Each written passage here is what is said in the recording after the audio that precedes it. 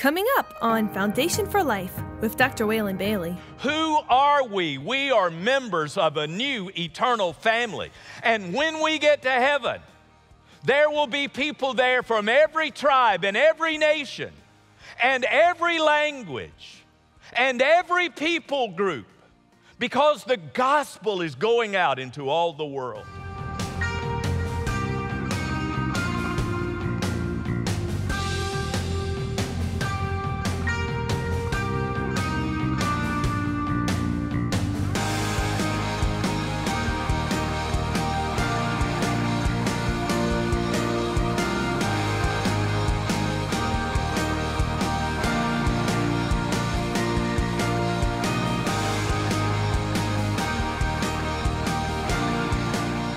We've been talking about the basics of the Christian faith. And I've talked about the church. I want to talk about the church again today. Because for this day, which is will be a historic day for us, the day we came back after the being safer at home, uh, we came back and we gathered together. Uh, this will be a very historic day, and we need to talk about the church. We need to talk about who we are. We need to talk about why God has chosen us. We need to talk about why God has put us in this place, as, uh, as the book of Esther says, for such a time as this. Sometimes I have to remind ourselves we're not three congregations 6 p.m. Saturday, 9 a.m. Sunday, 11 a.m. Sunday. I have to remind myself we're not three congregations, but today we're not six congregations either. Because there are more people watching by live stream in each of these services than are present. But we are one congregation. We are the family of God. We are the people of God. And it is all about Him and about who He is. So I want you to think about who you are and who we are in Christ. And let's hear what Simon Peter, who was with Jesus from the beginning, who was with him in the ups and downs, not Jesus's ups and downs, Peter's ups and downs, and became one, not the leader, but one of the leaders of the church. 1 Peter chapter 2 verse 1. Peter has talked about about obedience, he has talked about being holy, he has talked about being obedient to God and so he says, "Therefore, rid yourselves of all malice and all deceit, hypocrisy, envy and slander of every kind. Like newborn babies, crave pure spiritual milk so that it by it you may grow up in your salvation. We all have to grow up in our salvation. Now that you have tasted that the Lord is good.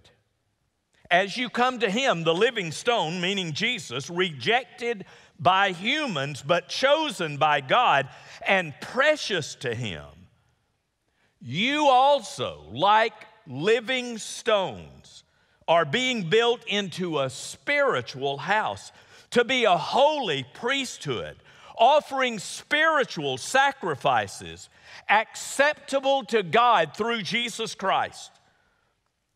For in Scripture it says, See, I, I lay a stone in Zion, a chosen and precious cornerstone and the one who trusts in him will never be put to shame. Now, to you who believe, this stone is precious, the beautiful name of Jesus. This stone is precious. But to those who do not believe, the stone the builders rejected has become the cornerstone and a stone that causes people to stumble and a rock that makes them fall. They stumbled because they disobeyed the message, which is also what they were destined for. But you are a chosen people, a royal priesthood, a holy nation, God's special possession, that you may declare the praises of him who called you out of darkness into his wonderful light. Once you were not a people, but now you are God's people. Once you had not received mercy, but now you have received mercy.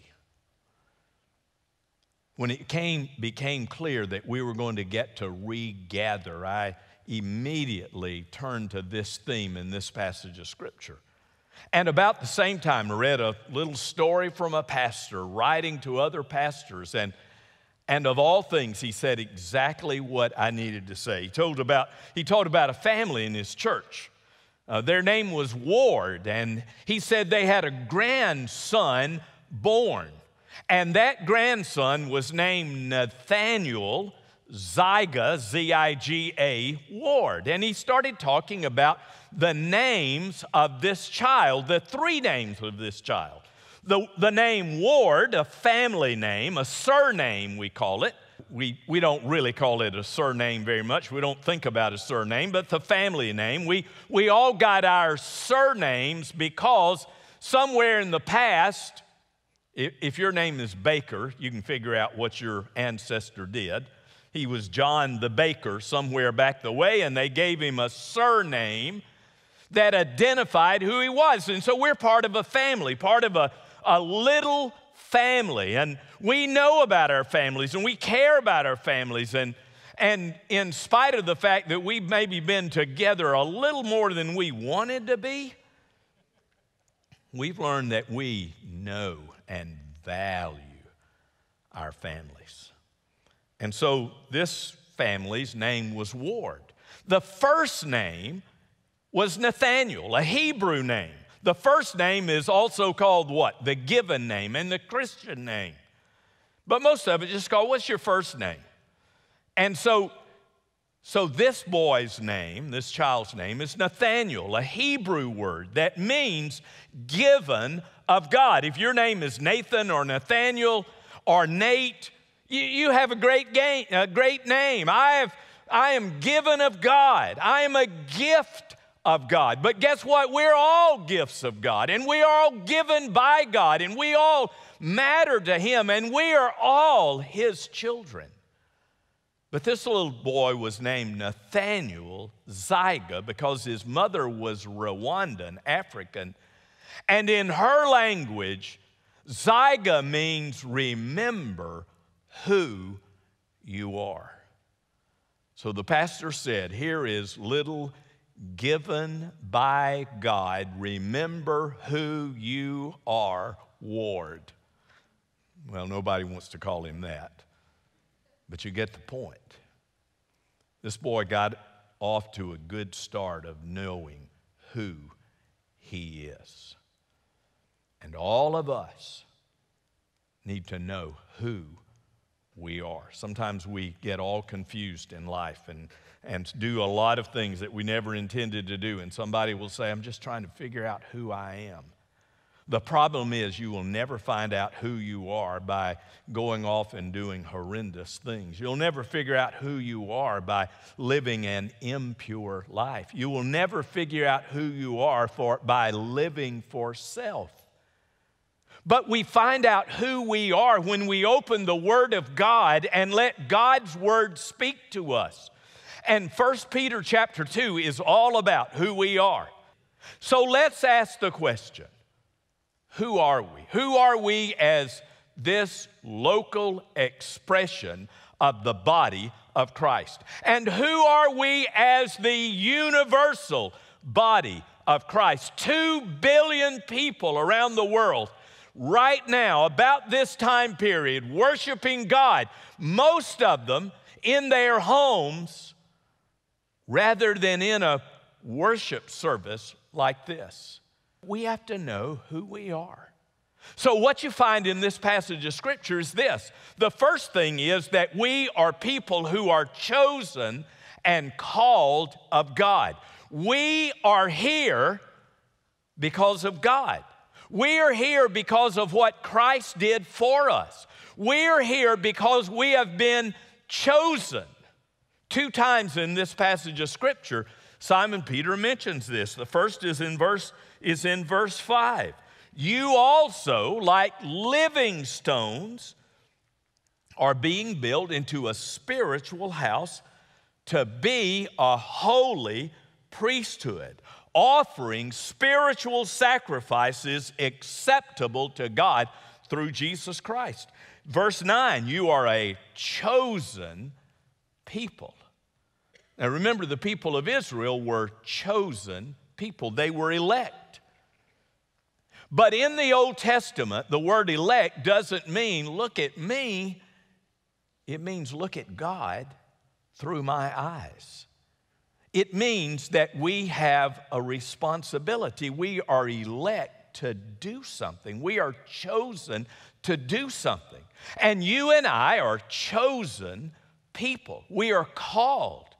We are chosen. We are called to the newness of life in Christ. We're called to be new people. Look again at this passage. Simon Peter begins. What is he talking about? He's talking about how we live, how we behave. He talks about what we are doing. Therefore, since you belong to God, that's what he said in chapter 1, he said, You are holy people. God is holy, and you are called to be holy, to be blameless, to be righteous. Since you are called in therefore that way, therefore rid yourselves of all malice. Malice, the Greek word for malice is a malice is a, a generic word, a general word to describe evil. So get rid of evil of every kind. Be ruthless in looking at your life and asking, what does God want me to do and what does God not want me to do? So get rid of all malice and get rid of all deceit. Let's speak the truth in deep and abiding love. And sometimes speaking the truth in love means you don't say anything.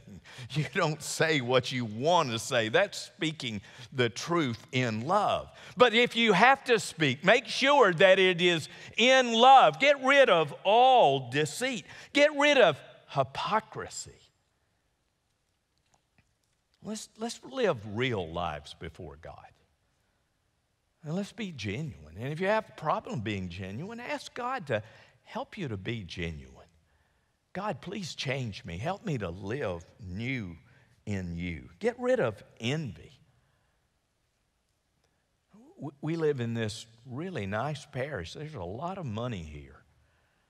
And a lot of us live it by envy. Get rid of envy and slander, what you say about other people. Get rid of slander of every kind. But what do we do? What do you put in place of all that? You desire pure spiritual milk. He's using the, the picture of a baby having to be nurtured and nourished by its mother. He says, we are babes in Christ and crave that pure spiritual milk and get on quickly to the meat of God's word and let that be who you are. Live in the newness of life in Christ. I've told you this many times before. The, the natural tendency when you come to church is to do this. The natural tendency is to, to say, you know, I heard God speaking today, and, and it was nice to be with the family of God, and it was nice to be here, and wonderful to be here. I'm going to be better this week. How many times have you said that? I, I'm going to do better. I'm going to be better this week. And there's nothing wrong with that. My goodness, the, for that to happen, for us to feel what, that way, that's not a bad thing, that's a good thing. The problem is, it won't really last and it won't really make a difference. But what will make a difference is when God is allowed to be inside of us by the work of His Spirit and He begins to change us on the inside all the way to the outside. And when that happens, all of a sudden, without really thinking about it and really, I'm going to be better, you, you find that that your attitude is different and the way you talk is different, and the way you think about people is different. And all of a sudden, you begin to see the truth of the gospel working in your life. That is the, the greatest confirmation that the gospel is real when you see yourself changing and becoming different because of the power of God in your life. God sent his son to die for you, to make you totally new and different. If any person is in Christ Jesus, he is a new creation. That's not reformation, that's creation, a new creation. This is who we are as the family of God. We are chosen and called. We're called to be transformed the beautiful picture of, of the Christian life is 2 Corinthians 5:17. If anyone is in Christ Jesus, he is a new creation. It's in, it's in Romans chapter 12, verse 2. Don't be conformed to this world, but be transformed by the renewing of your mind. The word transformed in Greek is metamorphosis that describes a caterpillar becoming a butterfly. Now, I promise you, if you ever look at a monarch butterfly and look at a caterpillar, you will never associate the two. In no way would you ever think of them in any sense. But the butterfly comes from the caterpillar. And what God wants to do in me and in you is to transform that caterpillar into a butterfly. We are chosen and called to newness in Christ. We are called to Christ. We're called to be like Him. The great goal of the Christian life is again not being reformed, not being better, but to be like Jesus and to let God's Spirit work in us in such a wonderful and powerful way that everybody around us will notice that we are different because of what Christ has done within us. Who are we? We are people who belong to a new, eternal family.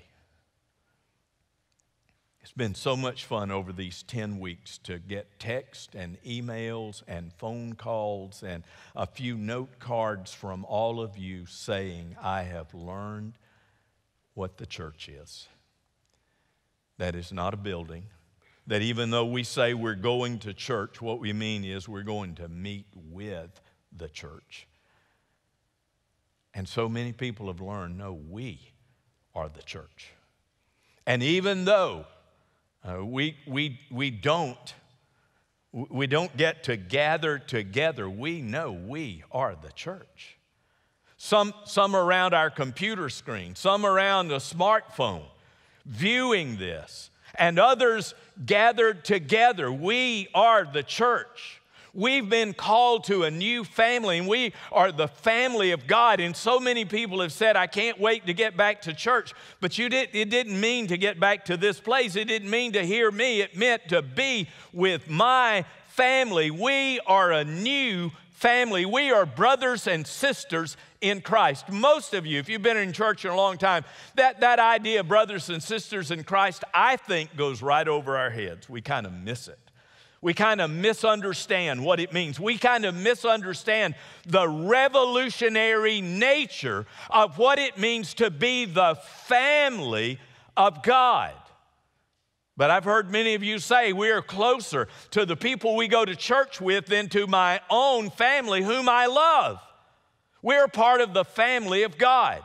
You remember when Jesus was teaching one day, it's one of those striking things in Scripture. It's one of those things where you say, This should not have happened.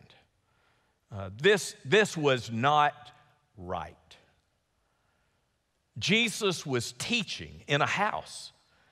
And though the, the scripture doesn't say it exactly, you get the impression that somebody came up to him, kind of like behind me, put his hand on his shoulder, pulled him down, and the man spoke into Jesus' ear and said, Your mother and your brothers are here for you.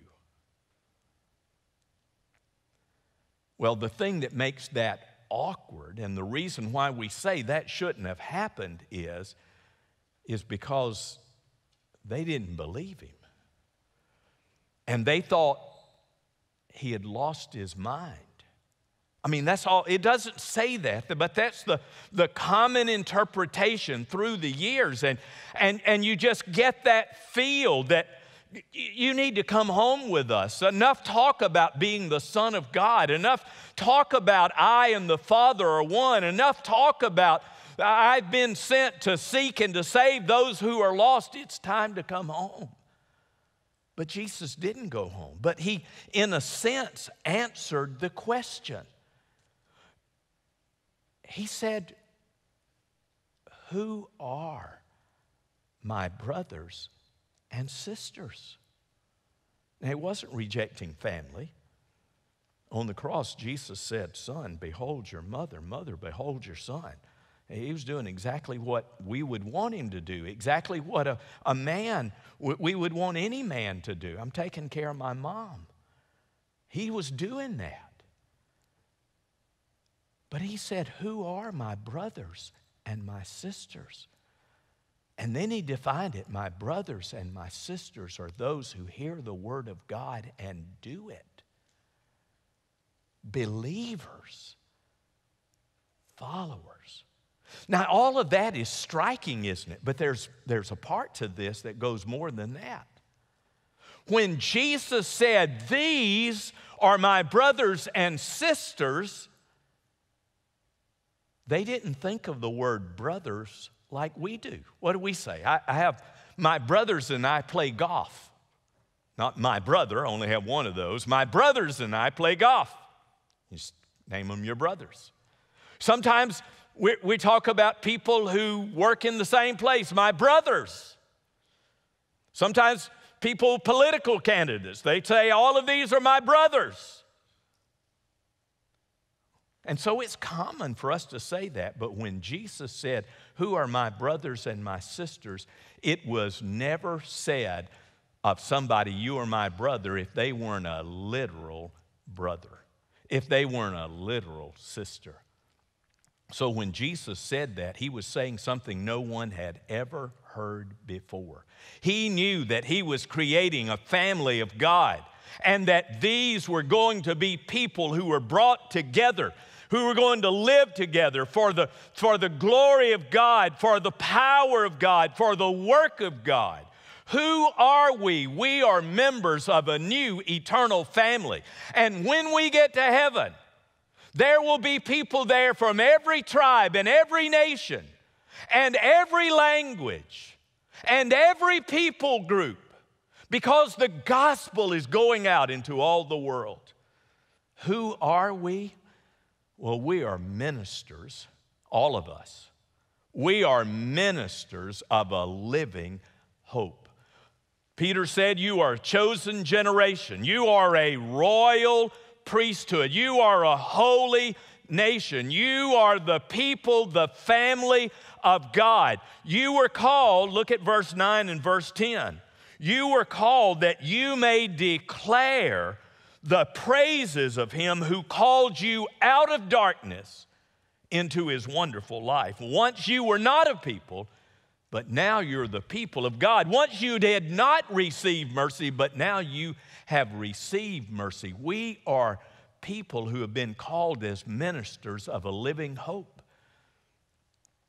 And so I pray that the last 10 weeks you've been ministering in the way you could minister. And if you haven't been, I pray that today marks the turning point and you look for ways in which you show the, the hope that you have in Christ and that you minister in the name of Christ. And you talk about the reason. It is in, it is in 1 Peter chapter 3, verse 15, where Peter said, Always be ready to give a reason for the hope that you have in Christ. That's for everybody. It's not for the guy who stands up here and talks. It's for all of us who join together in the name of Christ. We, we minister in the living hope that we have in Christ. We are going to be fine. As long as we hold on to Christ and minister in His name, we're going to be fine. We're going to be doing His will. Some, some mentor or pastors said this week he gave five reasons why churches ought to have hope. Number five was this it's on your screen. God sustained us during the pandemic. And I love the way he expressed it, and he's not going away. And he's not. And the church is his church, and we are his people, called for a purpose. Do you know in this church, in, in 10 weeks, in when we didn't have a service and didn't give an invitation, over 40 people have joined our church. I laughed with one uh, long term Baptist on the phone who was transferring her membership, and I, I'm finding out about her, and she's telling me her testimony and how she came to know the Lord. And, you know, of all things, you can do that on the phone just like you can do it face to face. And so, so she was telling me that, and after I heard her story, I laughed and I said, In your wildest imagination, did you ever think you would be joining a church by phone? And she laughed. And I said, You ought to think of how strange that feels on the other end of this conversation. So, all of these people have become members of our church by profession of faith. By saying, I, I trusted the Lord a long time ago, but I've never followed him in baptism. I'm ready to be baptized. We, a lot of people by profession of faith in baptism and transferring their membership. And I want to be, I want to be, most often, I want to be connected. I want to be connected to the family of God. I've prayed that God would draw you to Himself. I have no idea what God wants to do within you. But you know, because of the work of the Spirit within you, you know what he wants to do. Would you let Him do that? Just an openness, just a willingness to say, God, whatever you want, that's what I want. What a great confession that is. Whatever you want is what I want. And I want to give myself unto you. Live on the North Shore or planning to visit? Join us here at First Baptist Church Covington for one of our three weekend services. Come be encouraged by Dr. Bailey every Saturday evening at 6 or Sunday mornings at 9:30 or 11 a.m. For more information and directions to our church, visit fbccov.org. First Baptist Church Covington. Experience life-changing relationships. Be sure to tune in again next week for Foundation for Life.